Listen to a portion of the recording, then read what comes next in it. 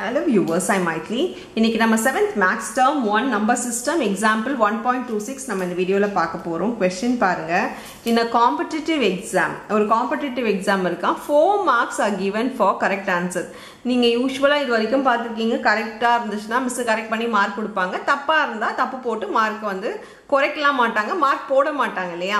But இந்த competitive எக்ஸாம்ஸ்லாம் நீங்கள் எழுதும் போது பெரியவங்களாயிட்டு அதில் பார்த்தீங்கன்னா கரெக்டாக இருந்தால் மார்க் ப்ளஸ் பண்ணுவாங்க தப்பாக இருந்தால் மார்க்கை மைனஸ் பண்ணுவாங்க. ஸோ இந்த இம்பா இந்த எக்ஸாம்லாம் பார்த்தீங்கன்னா உங்களுக்கு ரொம்பவே இம்பார்ட்டண்ட்டாக இருக்கும். நம்ம கரெக்டாக எழுதியே ஆகணும். இல்லைனா மார்க் என்ன ஆகும்?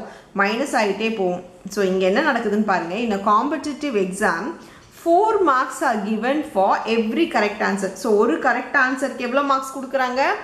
ப்ளஸ் ஃபோர் மார்க்ஸ் கொடுக்குறாங்க and minus two are given for every wrong answer சரி இப்போ நீங்கள் ரெண்டு கொஷின் அட்டன் பண்ணுறீங்க ரெண்டு கொஷின் அட்டன் பண்ணுறீங்க ஒன்று கரெக்டு ஒன்று தப்புன்னா உங்கள் மார்க் எவ்வளோ இருக்கும்?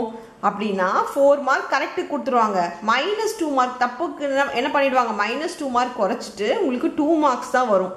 ஸோ நெகட்டிவ் மார்க்கிங்ன்றது இதுதான் ரொம்ப கஷ்டம். இதுவே வந்து நெகட்டிவ் மார்க்கிங் இல்லைன்னா அந்த கரெக்டாக இருக்க ஒரு கொஷின் மட்டும் கரெக்ட் பண்ணி தப்பாக இருக்கிறதுக்குலாம் மைனஸ் பண்ணாமல் வெறும் நாலு மார்க் கிடச்சிருக்கும். இப்போ பாருங்கள் ஒரு ஒரு கொஷினும் தப்பாக தப்பாக நமக்கு என்ன ஆகும்? மைனஸ் ஆகிட்டே போகும். இதுதான் இந்த கான்செப்ட்டு இப்போ ஒரு கயல்விழின்ற ஒரு பொண்ணை பற்றி பேசுகிறாங்க Kayalvizhi attended the exam and answer all the question so அவள் எல்லா கொஷினுமே ஆன்சர் பண்ணிட்டாலாம் அண்ட் ஸ்கோர் டுவெண்ட்டி மார்க்ஸ் எல்லா கொஷின் அட்டன் பண்ணிவிட்டு அவளுக்கு எவ்வளோ மார்க் கிடச்சிருக்குன்னா twenty mark கிடச்சிருக்கான் only when though only even though she got ten correct answer அவளுக்கு எவ்வளோ ஆன்சர் பண்ணியிருக்கா டென் கரெக்ட் ஆன்சர் பண்ணியிருக்கா ஸோ கரெக்ட் ஆன்சர் எவ்வளோன்றது கரெக்ட் கொஸ்டின் எவ்வளோன்ற நம்பர்ஸ் நம்மளுக்கு தெரிஞ்சிருச்சு. டோட்டல் மார்க் அவளுக்கு தெரிஞ்சிருச்சு. நம்மளுக்கு இந்த மார்க்கும் தெரிஞ்சிருச்சு இல்லையா? நான் இப்போ என்ன பண்ண போகிறேன்னா லெட்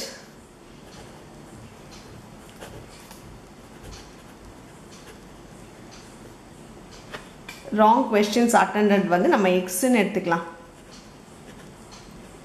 ஓகேங்களா? இப்போது நம்ம எவ்வளோ கரெக்ட் ஆன்சர் அட்டன் பண்ணியிருக்காலோ அது இன்ட்டு அவளுக்கு ஃபோர் மார்க் கிடச்சிருக்கும். நீங்கள் இந்த ஃபஸ்ட்டு சம் நான் உங்களுக்கு ஒரு எக்ஸாம்பிள் கொடுத்தேன் இல்லையா? ஒரு கொஷின் அட்டன் பண்ணியிருந்தா எவ்வளோ மார்க்குன்றது என்ன? சரி.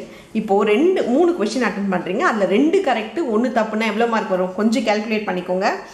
மூணு கொஷின் அட்டன் பண்ணுறீங்க அதில் ரெண்டு கரெக்டு ரெண்டு கரெக்டாக எவ்வளோ மார்க் வந்திருக்கும்? எயிட் மார்க்ஸ் வந்திருக்கும் இல்லையா? ஏன்னா ஒன்றுக்கு ஃபோர் மார்க்ஸ்னால் ரெண்டுக்கு எயிட் மார்க்ஸ் வந்திருக்கும். அப்போது மைனஸ் டூ ஒன்று தப்பாக இருக்கலையே அதை மைனஸ் டூ பண்ணிட்டீங்கன்னா சிக்ஸ் மார்க்ஸ் அவளுக்கு வந்திருக்கும். ஸோ இப்போ நம்ம என்ன பண்ணியிருக்கோம் இந்த மூணு கொஷின் போது ரொம்ப ஈஸியாக ரெண்டுக்கு வந்து டூ இன்ட்டு ஃபோர் பண்ணியிருக்கோம் ஏன்னா ரெண்டு கரெக்ட் கொஸ்டின்றதுனால டூ இன்ட்டு ஃபோர் மார்க்ஸ் பண்ணி மைனஸ் ஒன் இன்ட்டு டூ பண்ணியிருக்கோம். இல்லையா? அந்த டூ மார்க்ஸை வந்து ஒன்றுத்துக்கு மைனஸ் பண்ணியிருக்கோம்.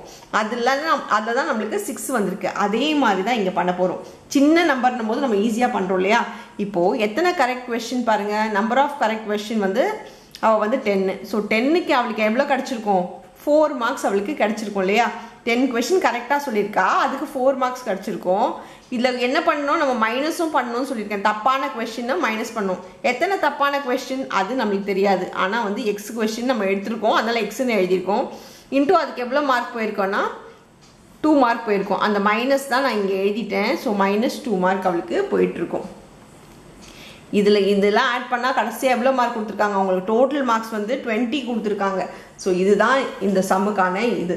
Correct number of question into அதுக்கான மார்க் மைனஸ் தப்பு நம்பர் ஆஃப் கொஸ்டின் இன்ட்டு அந்த மார்க் எவ்வளோ ரெடியூஸ் ஆகுதோ அது. இது கன்ஃபியூஸ் ஆகி ஆகுதுன்னா இங்கே ப்ளஸ் போட்டு கூட மைனஸ் டூ கொடுத்துருக்காங்கன்னா மைனஸ் டூன்னு நீங்கள் எழுதிக்கலாம். அது ரெண்டுத்தையும் ஆட் பண்ணால் வர்றது தான் நம்மளுக்கு இந்த டுவெண்ட்டி மார்க்ஸ் அவளுக்கு வந்திருக்கு.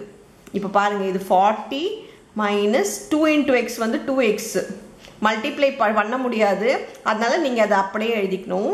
ஈக்குவல் டு டுவெண்ட்டி இப்போ ஃபார்ட்டியை நான் அந்த சைடு எடுத்துகிட்டு போவேன். எப்போவுமே எக்ஸை கண்டுபிடிக்கணும் அது பக்கத்தில் இருக்கிறதுலாம் ஈக்குவல் டுக்கு அந்த சைடு எடுத்துகிட்டு போகணும். ஸோ ஃபார்ட்டி அங்கே எடுத்துகிட்டு போனோன்னா minus two x is equal to twenty minus ஃபார்ட்டின் ஆகும். இங்கே சால்வ் பண்ணிக்கலாம்.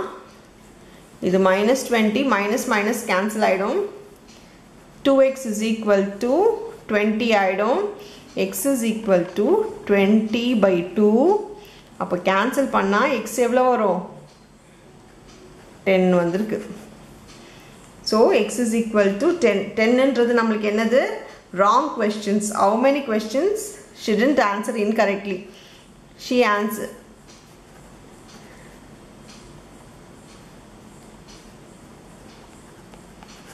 she answer questions incorrectly வந்து டென் கொஸ்டின்ஸ்